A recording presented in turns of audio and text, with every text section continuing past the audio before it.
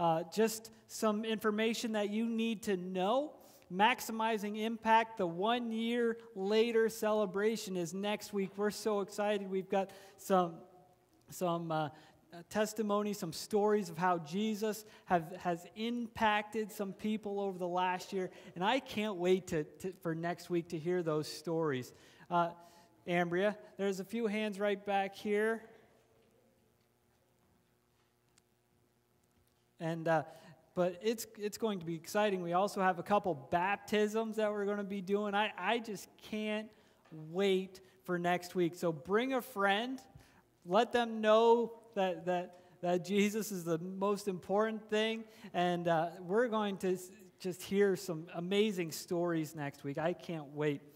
Also, next week after the service, we're going to have a growth group leader uh, training. So, if you're interested in leading a growth group, that would be a good meeting to show up for. Even if you're not ready like next week or a month from now, if you want to consider like maybe even a year from now leading a growth group, if, if you're a part, if you lead a class here at uh, Heartland community, we would love for you to be a part of that just to get a little bit more uh, information and, and things like that. And we want to build you up as leaders. So if you, you know, lead a class for kids, if you lead a class for, for youth, if you lead a class for adults, this will be beneficial for you to, to, to come. So, so please be here uh, following the service next week. And uh, we do need numbers because we will provide food for you. So please let me or Chris Ernie know.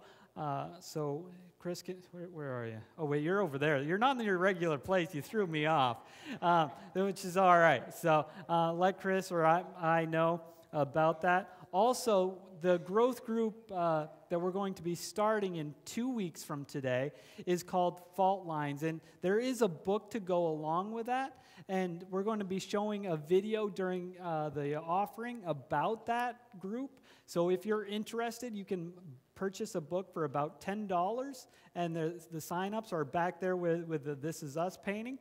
And uh, please uh, sign up so we can get those orders in. With that, I'd ask the ushers to please come forward and we'll take our tithes and offerings. Let us pray.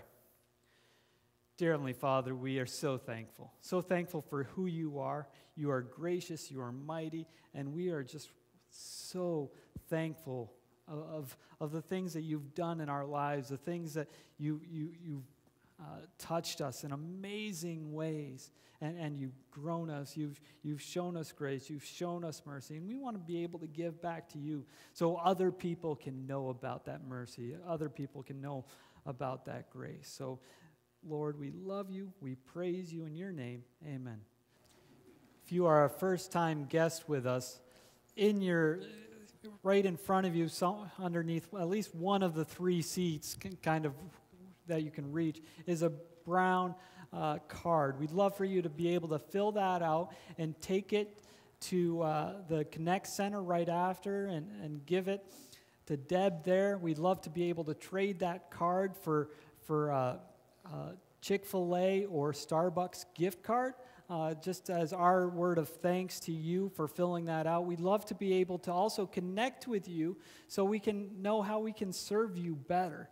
So if, if you're a first time guest, welcome. We love you. Please stay. Please come back next week. Um, we've been in a series called The Voice over the last few weeks, and this is the last week of The Voice. And anytime I, I do a series, I try to wrap it all up, but you might not have been here for all the weeks. So I want to kind of cover what each week is. And, and I've tried to figure out how, how, how can I best sum up each week in a sentence. And it really is all about choices, the choices that we make because the world that we live in is a little bit chaotic, a little bit loud, and we're going from one thing to the next. We're just busy all the time. It's hard to slow down, right? It's, it's hard to even hear ourselves think rather than even taking time to listen to God and what He thinks, right? It can be difficult. So, so over the last few weeks, we, we looked at a few different choices, a few different choices of what we can do to quiet our worlds around us. The first one is to choose life over death, right? There's, there's a lot of choices that we can make that will add life or add death to our lives, right? Prosperity and blessings over destruction and curses, you know, the people that we hang out with, uh, the, the, the things that we allow in our lives bring either death or life. And, and, and it's amazing how people can add to our life or take away from it. Deuteronomy 30 19 was kind of the main verse that we used that week. And it said, Choose life so that your children may love the Lord your God. Listen to his voice and hold fast to him. This is an interesting verse because it touches on so many things that I love about it. But it's not just about how it impacts you, but it impacts your children and the people around you. Your life of choosing God impacts the people around you, and it actually helps you to listen to his voice and hold on to him. Week two, we talked about choosing trust and, and trusting God's voice over man's, right? It is easy, easy to, when we have a problem, to go complain to somebody else, right? And, and, and hear what they have to say. And that's not a bad thing, but we still need to remember who's the voices that we are listening to most. Who are the ones that we put in our head, that, that the, the ones that we think when, when, when we're struggling? Who are the voices that we remember? Who are the voices that are pouring into our lives and actually add wealth to it? You know, Psalm 46 10 was the verse for that week. Be still and know that I'm God because He cares. He, he, he wants the best for you. Week three, Pastor Bill came from Cedar Rapids. Maybe you were here that week. And, and, and he talked about some amazing stuff. I, I, listened to the sermon. If you, if you weren't here that week, you should go to uh, YouTube and uh, uh, search Heartland LPC and, and listen to that message. It was a great one. But he talked about submitting to God over, even over your own opinion because we have opinions about things. But, but we need to learn to God's opinion because his opinion is what matters, right? He, he created us, he knows everything about us.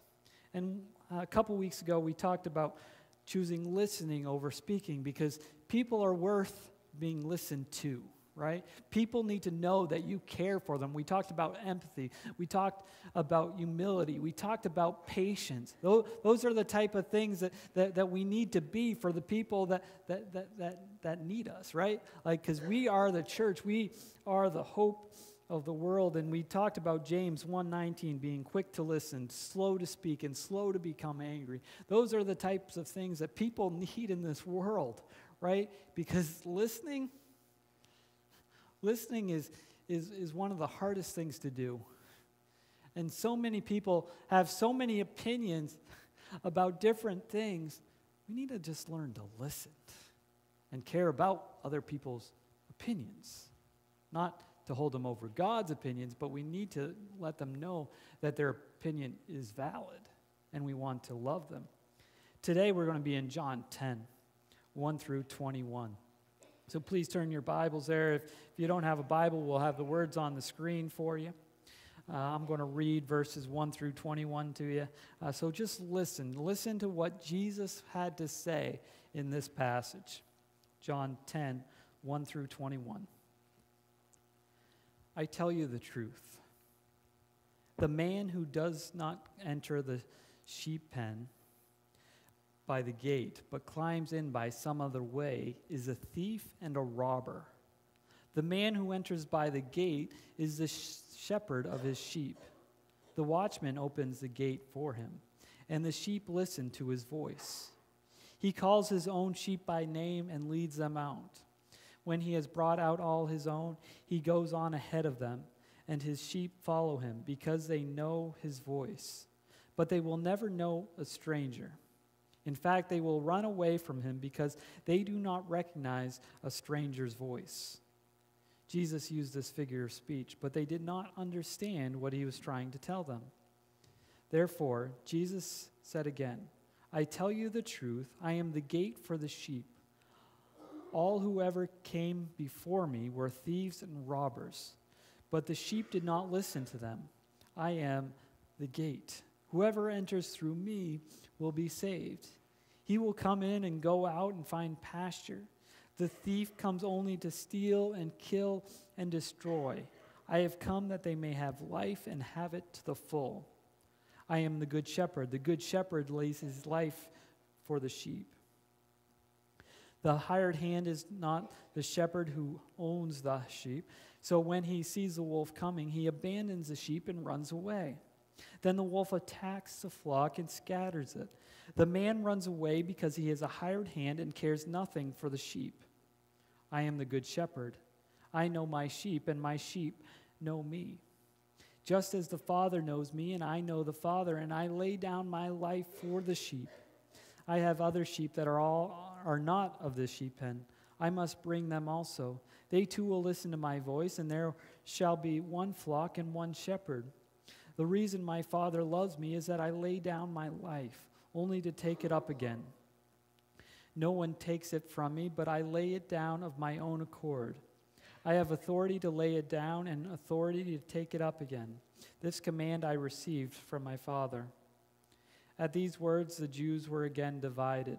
Many of them said, He is demon possessed and raving mad. Why listen to him?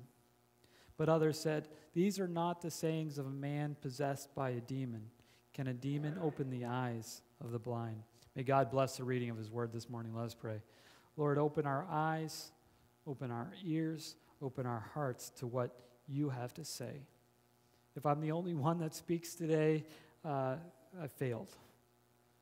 Work in our lives, work in our hearts, and speak to us. Show us how to live because we need it. We praise you in your name. Amen. You know, it's, it's hard to think that a passage about a sheep and a shepherd would be so controversial. But this was a very controversial lesson that Jesus was teaching. He was talking to the Pharisees, and what he said was a big deal.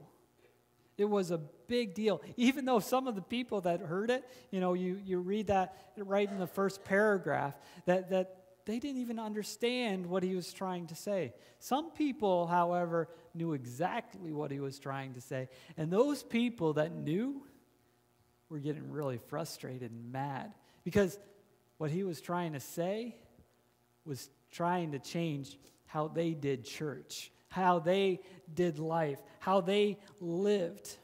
Now, sometimes people don't like hearing the truth, right? It's hard to hear the truth sometimes. I've been told the truth sometimes, and it's like, oh, you punched me in the gut. Like, even though it, was, it wasn't a punch, it was just some words of, of truth and wisdom, something that I needed to hear. Have you ever felt like that before? Have you ever had that experience? One of the first things that he said that people had some, some, some questioning about that they didn't like was when Jesus said, I am the gate. Whoever enters through me will be saved. Right? This is a big deal because only God can save, right? But for a lot of these people, the, Pharisees specifically, teachers of the law, who are trying to, to teach all these Jewish people about who God is and, and what he does, here's a guy who is saying, No, I'm the one that saves, right? Like, this is a big deal. And, and he's trying to say, hey, it's about me, not, not, not about these people trying to tell you who God is. I am God. And they didn't like it because they thought he was just a man, a, a, another prophet. But he was a lot more than that. And so, so basically, it was the issue of salvation. It was an issue of blasphemy, saying, I am God, I can save you, I can give you everything you need. And, and these Pharisees obviously did not like it. But the next thing, I, I think they might, might have taken even more uh, to. It says, The hired hand is not the shepherd who owns the sheep. So when he sees a wolf coming, he abandons the sheep right here, Jesus is actually talking about the Pharisees being the hired hand, right? they're, the ones that are working in the church. They're, they're making their income from, from, from working in the church. They're, they're living off everybody else. And he's saying, they're going to abandon him if anything gets difficult. They're going to walk away. They're, if, if, if things get difficult, they can just walk away in the church because they don't necessarily need to. They, they, they, they, don't need to take the crap from anybody else, so they can just walk away. And, and the Pharisees are trying to think, man, he's taking our credibility away from us. He, he, he is basically defaming us right in front of everybody. So I'm not sure what they were more mad about the blasphemy or the defamation, but, but it was something that was really difficult for the Pharisees to hear because he issued their, his authority.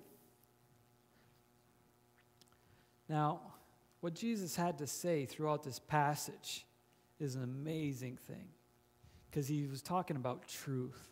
He was talking about life. And when we understand truth and we understand life, we will have this abundant life. Not just breathing air in and out, you know, not just having a pulse, but an actual life where, where, where it means more. A life where, where we have a purpose and, and, and a meaning for getting out of bed each day. It doesn't mean that we're just breathing air. There's something more to it, that we can have a full, abundant life. And, and he talks about this. He, he, he says, I'm going to lay down my life for the sheep, right? Here's a guy who, first of all, created everybody, and now he's willing to lay down his life for his sheep. He's protecting them, he's taking care. So the, the, the life can continue. So, so, so the wolf or, or the hired hand or the stranger can't come in and take, the, take their lives away. But he's going to protect them. He's going to take care of them. He's going to give them a full and abundant life. And he says, I know my sheep, and my sheep know me. There's a relationship there. They, they actually hear him, they actually understand who he is. The next part my sheep listen to my voice, right? It's something amazing because, because when you think about sheep, when, when, when you think about them knowing their owner, that they will follow their owner to, to do anything and everything, but they won't follow the others, the, the stranger's voice. They won't follow the person that, of, of voice that they don't know. When you know Jesus, you know his voice. When you know Jesus and you get into his word, you can tell and you know what is right living and, and, and the choices that you need to make. So it helps. It helps guide us and it gives us life and, and, and it gives us an even better life, right? These are the choices that we've been talking about all throughout this series. Now, it's pretty uh, amazing, but maybe you have the same same idea. Like when I used to go play basketball, you know, I played high school basketball. I wasn't great, I wasn't horrible though. Eh, but when there were these times where I'd, I'd make a basket, and net a three or whatever, and, and I'd hear my dad's voice in the crowd. Right? I could pick my dad's voice over, over 500 other people, and I don't think it was because he was that much louder or, or drowning out everybody, and he wasn't the only one cheering in, in, in the stands. It was because I knew my dad's voice. I could pick him out in a crowd. I don't know if you guys are the same way, but at least I was and still am. Even in a party, I could hear my dad laugh, and I'm like, oh man, that, that, that you know, like, you know, amongst hundreds of people or whatever. And I could pick out my dad's voice. It's just like God, right? When, when, when you spend time with Him, when you're spending time in His Word, you know and understand God's voice. Matthew 18 is a story about a hundred sheep and, and a shepherd, and, and one of the sheep run away, disappears. And, and the shepherd doesn't know where it is. But he leaves the 99 because they, he knows that they will stay together. They will stay as a group. Not all the sheep are smart, but one left. Well, I, we don't know the reason he left. Maybe he got distracted. Maybe he saw a dandelion over there and try, tried to eat it and fought, fought, just kept on going. I, I don't know what it was, but he was lost. And, and, and a lot of people think being a shepherd is, is one of the worst jobs, and being a sheep might be one of the worst sheep that, that there is. But, but the, the sheep is worthy of being found. And, and, and the shepherd will go and do anything to find that sheep because that life is worthy. That life is worthy of being found. So he goes and he finds it and he brings it back with the herd because they, they need to be together. They need to be there, right? God is willing to say, This is what we need. You, you don't need to be alone. You need to be with a flock. You need to be together. You need to be with them, right? We're all looking for more. We're looking for a better life, right? When it's the words and God is right there in front of us. When we give up the life that we have and give it over to God, He will change it. He will give something new. He will give not just a better life, but the best life. We're always searching for something better or something newer or cleaner or whatever it might be. But when we give our lives over to God, that's when we will find real life. When we really understand what He has to offer, right? Because Christ not only gives life, but He actually gave us life created us in the first place. And He knows what abundant life is because He actually defeated death after He died for us on the cross. That's why He did it. So people would come to Him in relationship. Right? John 14, 6 I am the way, the truth, and the life. No one comes to the Father but except through me. Right? We have all tried to do life on our own. We, we've gone from one thing to the next to the next and we can't do that anymore. And, and the people that, that, that have come to know Jesus have had to come to a place in their lives where they said, Enough is enough. I can't do this anymore. I need to give it up because it's not working for me. This, what my answers are not good enough. Man's answers are not good enough, right? Because man's answers, right? We all have answers for something. That doesn't make it truth. I, I've been told all kinds of answers by people in my past. And I don't believe all of them. Some of them are right, some of them are good. But some of them are just making it up as they go along, right?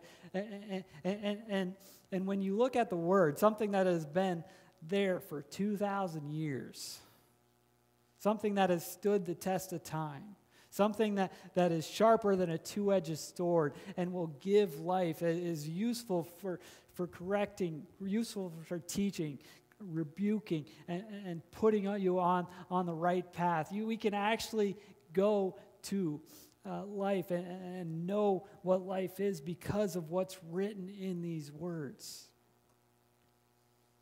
All we have to do is accept it, believe it, trust it, have faith in Him, confess our sins and ask for forgiveness and repent and turn from our ways. God loves you. He wants the best for you, and that's why He's offering life. Ask the worship team to please come forward, and as they do, I'm going to ask us to all close our eyes and think.